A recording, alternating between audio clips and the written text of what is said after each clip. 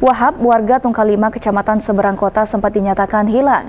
Sebab sebelumnya perahu milik Wahab terbalik dikarenakan ombak yang cukup tinggi. Sempat dilakukan pencarian oleh tim Basarnas Kuala Tungkal pada Kamis pagi, namun pada pukul 2 WIB dini hari Wahab dinyatakan selamat karena telah ditolong oleh nelayan sekitar TKP Toko.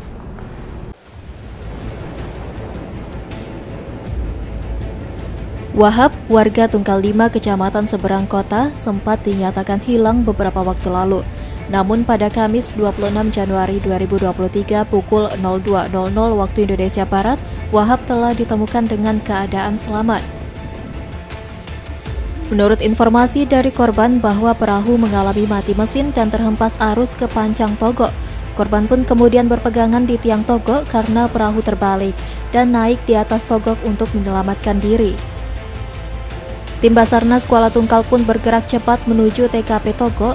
Alhasil Wahab dinyatakan selamat setelah ditolong oleh nelayan sekitar Togo.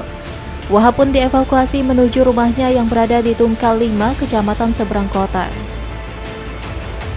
Dalam kesempatan ini, Nahkoda RBK 10 Basarnas Kuala Tungkal, Erwin David menjelaskan, sebelumnya kantor Basarnas Kuala Tungkal mendapat informasi dari Arifin bahwa telah terjadi kecelakaan kapal nelayan terbalik di ambang luar Kuala Tungkal. Kejadian ini terjadi pada pukul 8.00 waktu Indonesia Barat Rabu malam. Dua korban atas nama Arifin dan Wahab pada saat itu sedang memancing di perairan ambang luar. Saat kapal hendak bersandar di Togo, kan kapal yang membawa korban terbalik dan salah satu korban nama Arifin dapat menyelamatkan diri dengan memegang kapal terbalik tersebut. Namun pada saat kejadian tersebut Wahab hilang dan tidak terlihat. Selanjutnya korban selamat langsung melaporkan kejadian ini ke kantor Basarnas Kuala Tungkal.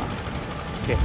Untuk informasi tadi pagi kita dapat informasi Pak dari salah satu korban yang ditemukan nelayan dalam sandar di Malina. Kita dapat laporan bahwa mereka dua orang semalam memancing sekitar pukul 8 malam.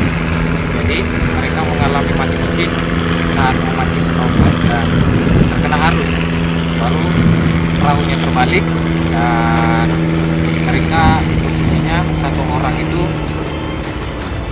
terbawa arus dengan perahunya yang terbalik yang satu lagi bertahan di tombol jadi informasi yang kita dapat awal satu orang selamat. Yang satunya masih dalam pencarian terus setelah dicari eh, gimana ya selamat. Setelah kita melakukan pencarian kita dapat informasi lagi bahwa korban yang satunya ditemukan oleh nelayan sekitar pukul 2 pagi dan dibawa ke rumah nelayan tersebut.